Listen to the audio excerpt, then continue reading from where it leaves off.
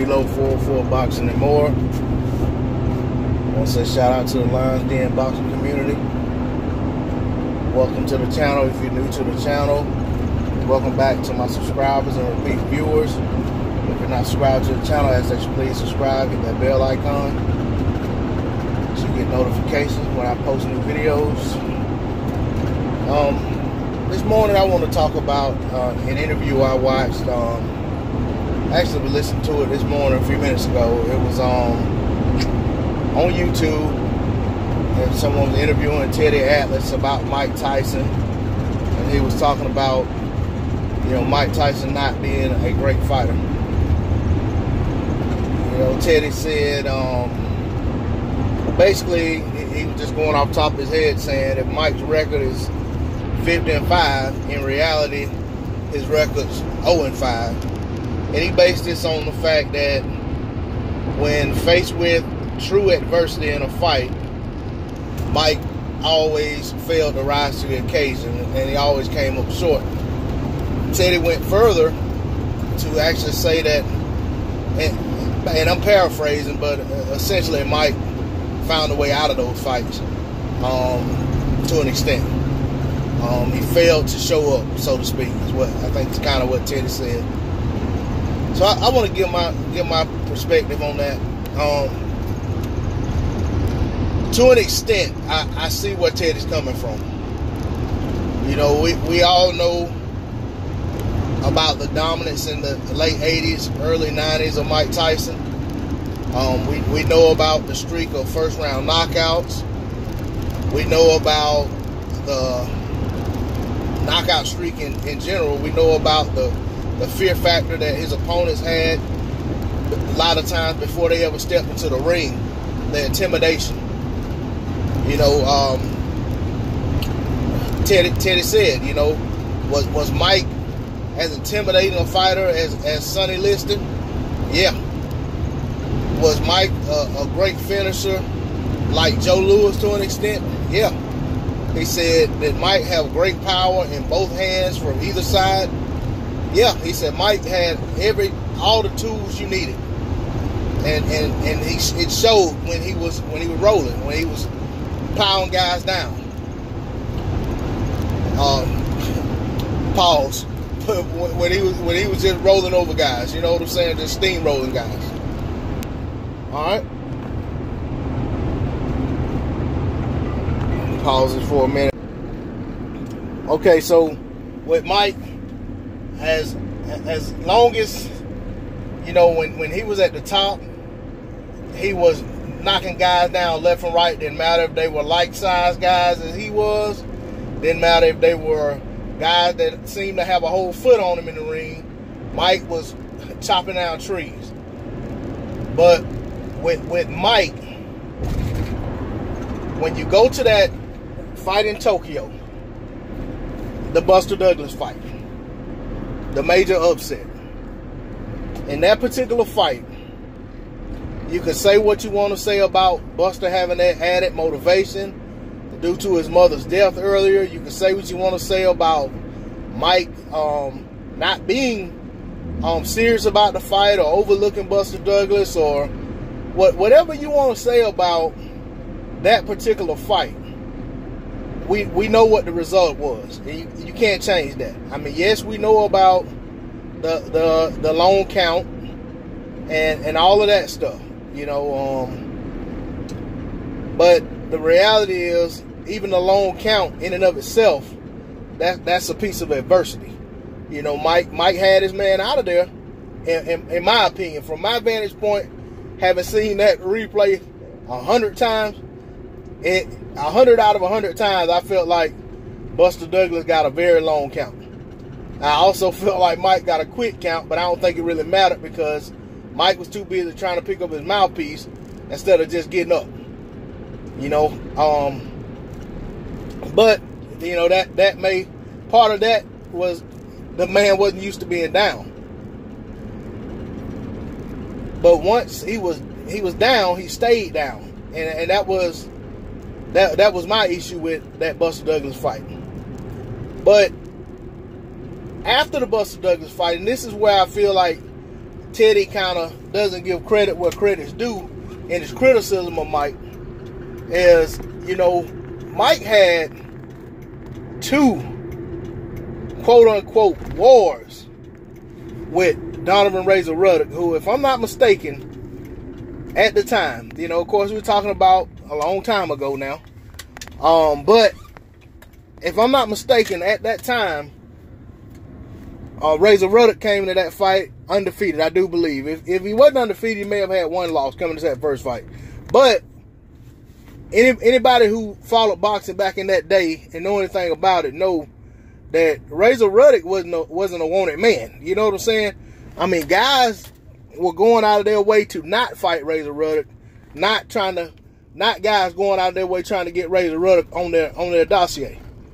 You know, um, if I if I had to kind of make a comparison, you know, Razor Ruddock may have been similar to, and I'm not saying style wise, I'm saying um, if you look at the situation at the time and, and the way the guys um, looked at and viewed by his competition, the guys that, you know, could be in there fighting but won't, I think Razor Ruddock was some somewhat a Luis Ortiz of his time.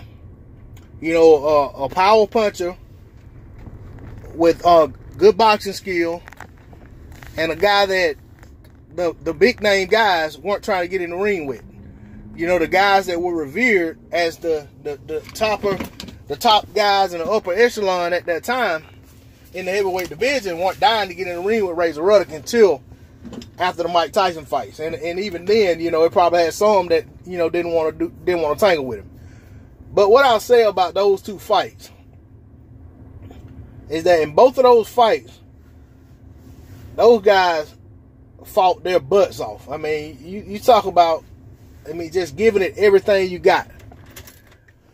You know, and for myself, when when people talk about the decline of Mike Tyson and they try to attri- attribute that to Buster Douglas, for myself, if if you want to take uh, say a fight took anything, something really took something out of Mike, I think the two fights with Razor Ruddock took something out of a lot out of both of those guys.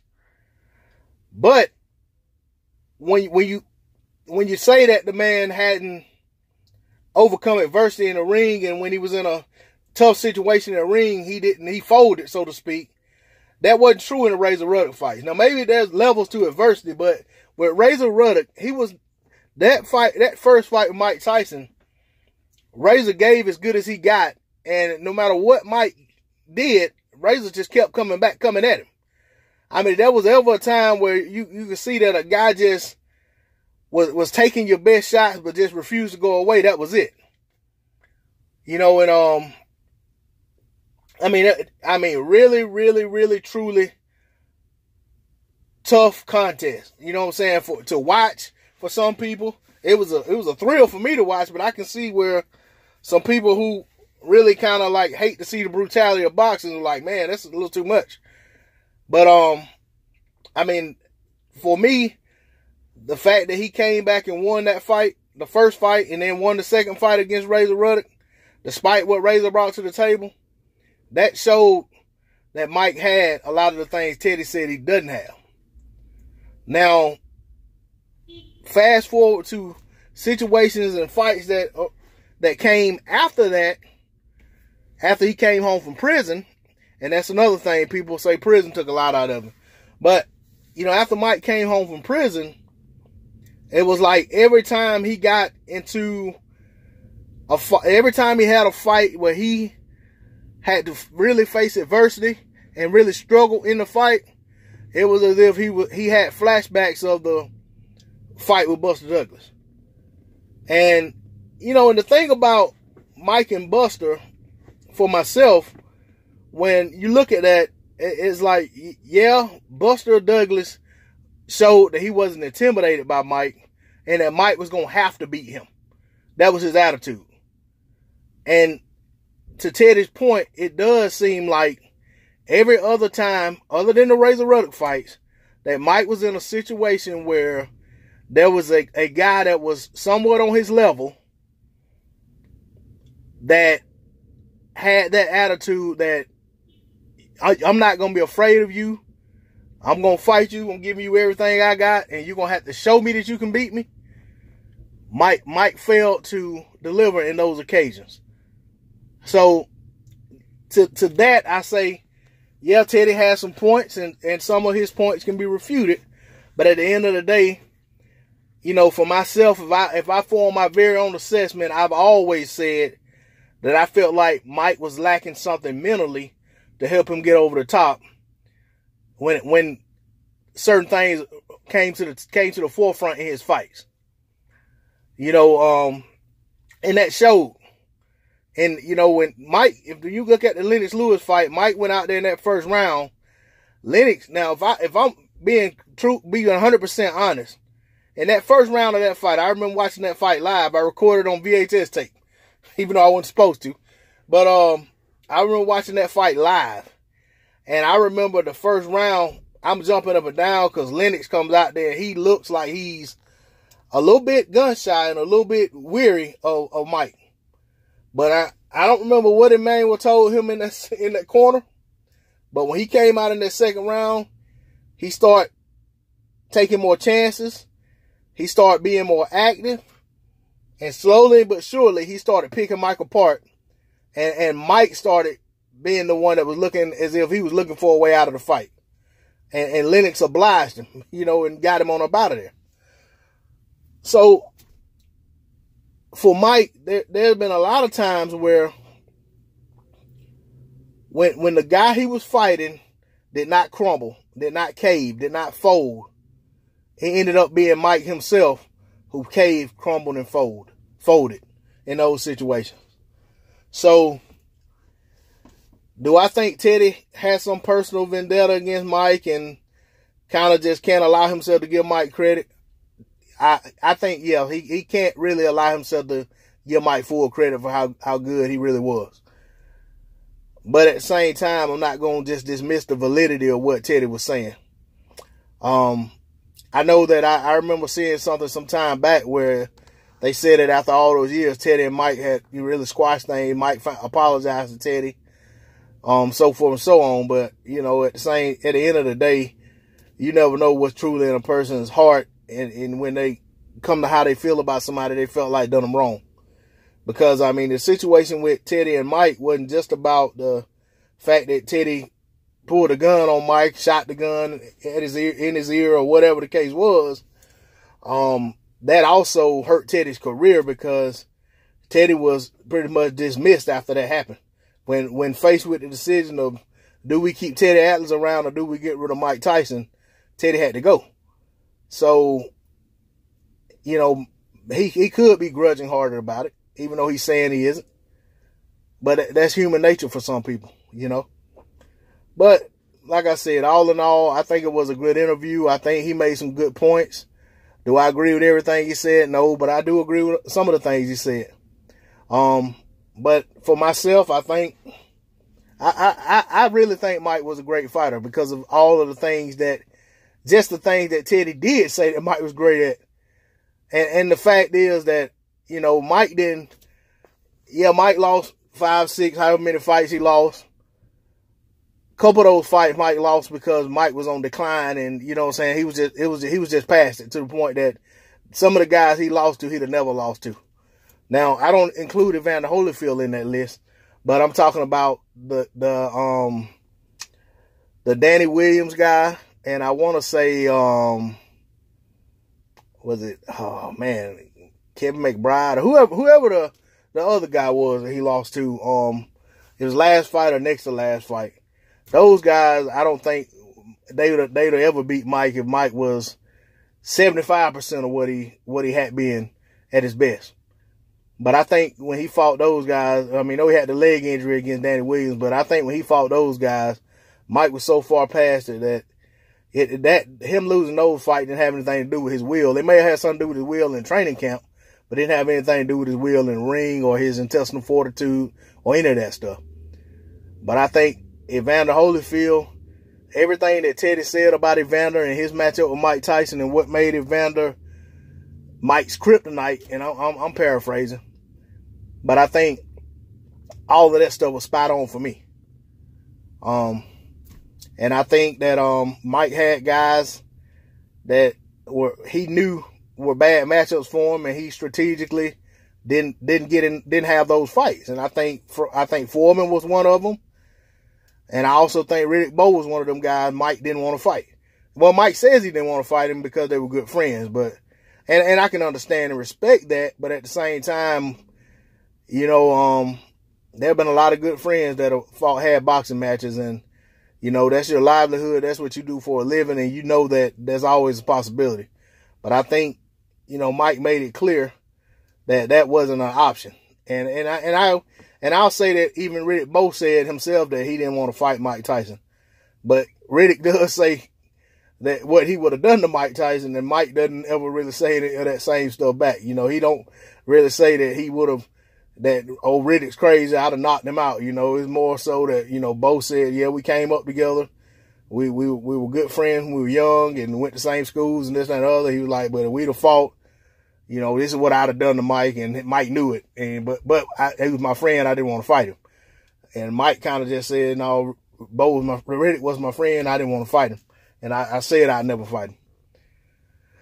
But that said, you know, I'm gonna wrap this up. I don't ramble on about this long enough. I mean, this, that was the heyday of the heavyweight division, the, the last heyday of the heavyweight division. I know it was greater times than that, but the late 80s, 90s, you know, man, the heavyweight division was, was something back then. But, you know, I, I'll just um, say, you know, once again, to my for myself, I consider Mike to be a, a, a great heavyweight fighter. Um, one of the greatest that I, I personally saw with my own eyes, you know, you know, in my era, you know, the era of boxing that, you know, I grew up and fell in love with the sport. I think Mike was, um, he carried himself well as a champion when he was in the ring. I mean, what he did outside the ring, that's a whole nother conversation. But when in that ring, Mike conducted himself like a champion. And, um, you know, um, in, in some of those losses, Mike went out on his shield. So you got to give a man credit for that. But, you know, at the end of the day, you know, what, what he was is what he was. You know, I appreciated him when he was, when he was winning and he was, you know, undisputed and all that. I appreciate him still today for what he did for the sport of boxing. I just don't appreciate some of the things he says today.